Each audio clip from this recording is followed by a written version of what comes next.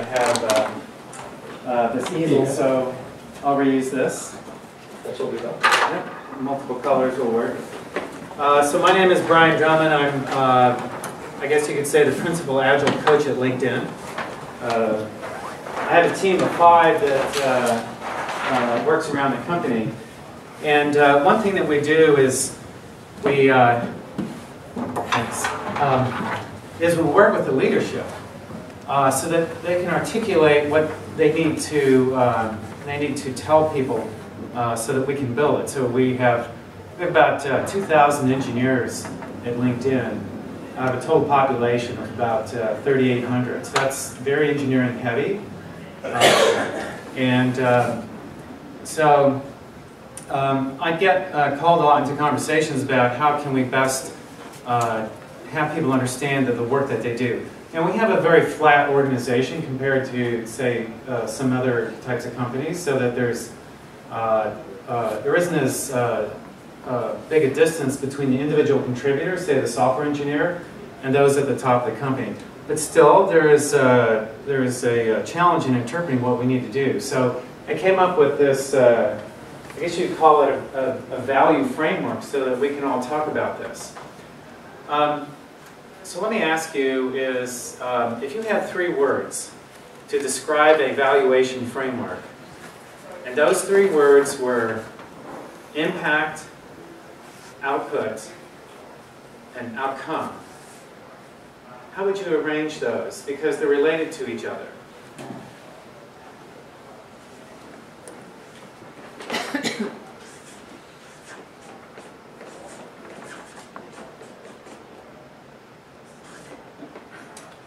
Okay, so we have uh,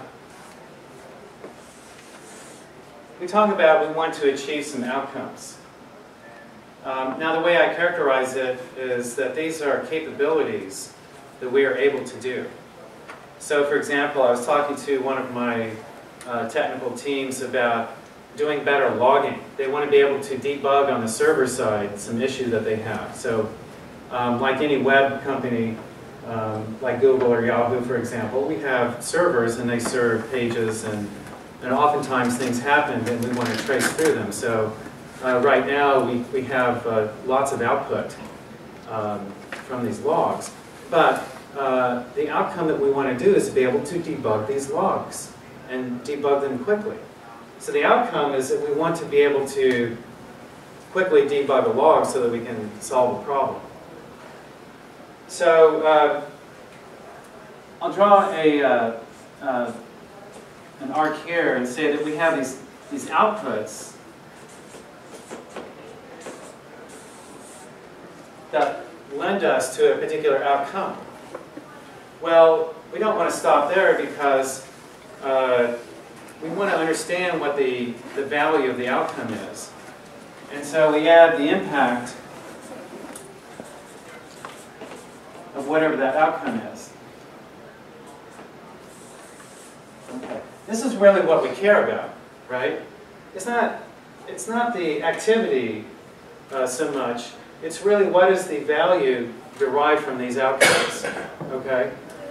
Um, so there are other things that uh, we can use this for. This is, this is fairly useful because when we talk about our story writing, for example, I work a lot with our product managers and try to turn them into product owners. I also fill in as a technical product owner for many times. And there's, there's often a uh, uh, non-clarity about exactly you know, what we call the work that we do. Uh, a lot of times engineers, especially those that come out of school, are very focused on outputs, right? So uh, we're trained that way from school, is we, we have these pre-described uh, lesson plans. The teachers know what they are, and uh, then we assign grades on how well you achieve the output that, that we expect. And so we are trained by this. Um, so, uh, but uh, these students, uh, so we hired many of these at LinkedIn, and when we bring them into our professional environment, they're very confused uh, because the uh, the outcomes are not clear there. It's not a college, it's not a uh, education framework, right? So they're they're expected to come up with their own outcomes, but we don't tell them that. Um, the other thing I want to show here is that this is very useful because if we draw some lines here, like this, for example, we may have similar outputs, I mean, uh, different outputs uh, to get the same outcome, right? Okay, so I'll call this output 2 and this output 1. Where have we seen this before? So you should recognize this as the difference between a build and a buy to achieve the same outcome. So we want to be able to think this way. In fact, we want to be able to add other types of outputs over here that can achieve the same outcome. This is how we leverage our decision-making capability. If we're able to think this way, then uh, we can achieve the same outcome, but evaluate the uh, cost down here. Now, one thing that I do is I talk about risk with my teams. So, for example, one, one particular way of doing something, think about code. Code is an output. By itself, it doesn't really do anything. It's when it's used in some sort of activity to achieve some sort of impact, like sell product on our website. Uh, but we may choose quick and dirty, just to get something out there. Now there's an associated risk with quick and dirty, right? Usually technical debt.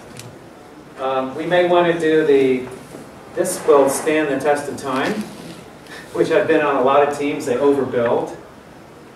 Um, and then there might be something in the middle, which is, yeah, we're going to take uh, a shorter path here, but we were able to uh, make some trade-offs.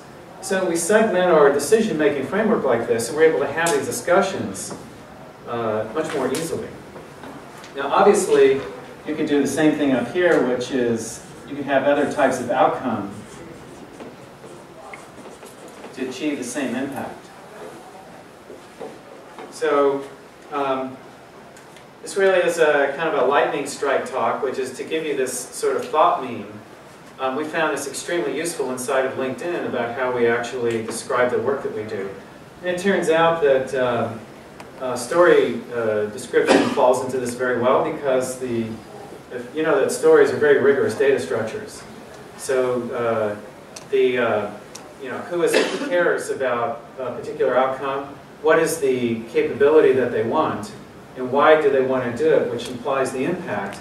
And then below the line, you have the acceptance criteria, which is negotiable. So we found this extremely handy for, for how we do our uh, the work. We, we, find that our decision making is much faster and uh, we're, we're actually able to create higher productivity out of this. So that's it.